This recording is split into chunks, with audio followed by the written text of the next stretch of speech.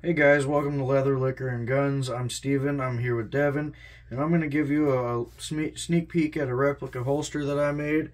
It's based off of a CZ52 antique holster surplus firearm.